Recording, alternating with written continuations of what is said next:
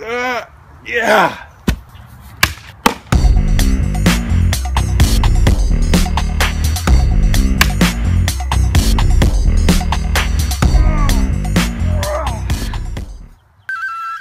Here they come now. They're coming now. Yep. Good job. Hey, everybody, and welcome back to another episode of Manly Men. I'm Chris Kerr. And I'm Jay Meyers.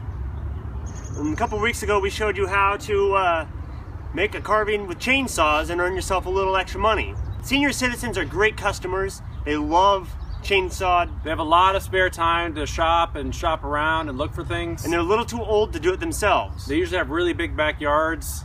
They need to fill it up. So we're going to show you how to fill it up and make a little bit of money. What more do senior citizens like than birds? So we're gonna show you how to make a bird bath. Out of these old logs. Yep. Turn some old crummy logs into a bird bath that all the birds in your backyard can enjoy.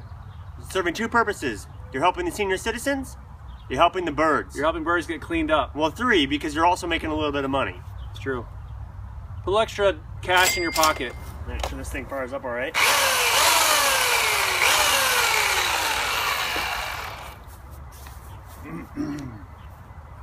Cheers. Cheers.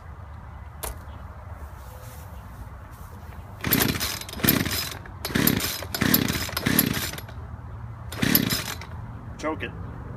I did. Prime it.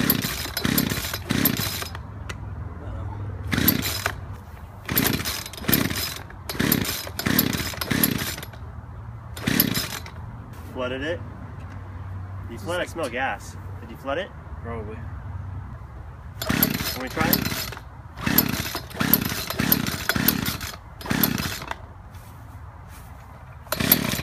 Oh, that's not bad. That sounded good. Can we try it? I got it. That's why you always go with electric. No start time. Go electric.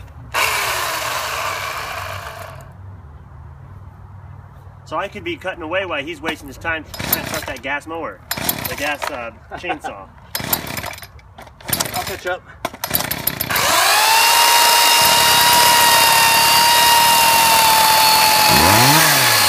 Música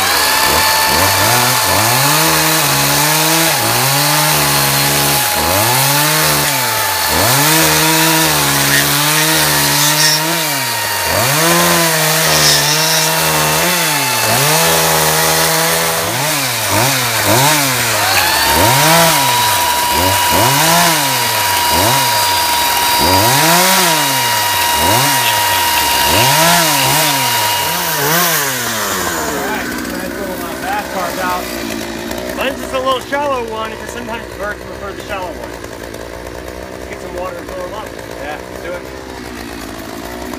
All right, you want to remember to leave a little bit of a ledge around the actually actual bird bath.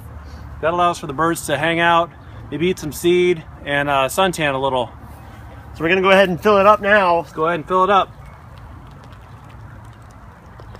See now that holds a lot of water. That's gonna be really handy for those birds. Great. They're let gonna the love it. uh, let the foam of the water kind of settle down, surface tension will even out, and the uh, the birds will have a place to go and drink and get cleaned up. So one thing I did that's different than Chris, I left it a little shallower. I know that birds like to get their feet wet, but they don't like to get their wings wet. So what I've done is just made it a little shallower of a bird bath. Well, now it doesn't take very much beer to fill this one up, or water, That's all I have. uh, and so that way they can really just kind of enjoy some cold toes. Yeah, But then they let they leave their wings, you know, dry so they can fly away. yeah.